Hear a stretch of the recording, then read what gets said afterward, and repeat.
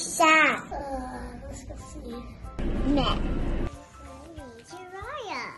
Mad. Things that you feel inside after things happen. Happy. Happy. Sad. Sad. Happy? Happy. Yeah. What are feelings? I'm with my family. No, what what are feelings? I don't know his name. It means you're happy. Feelings are when you like someone and then they like you back. You're sad. Hugs. Hugs?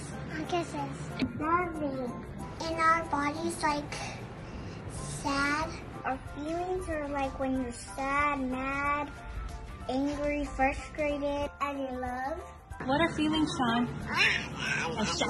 Lonely? Feelings means you're sad. That when you're happy or sad or angry. Happy, sad, mad.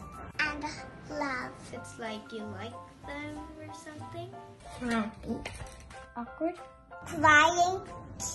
Getting mad. Or worried. Feeling think about. What are feelings? Hmm. I can't tell you. It's Too high. What could you be worried about?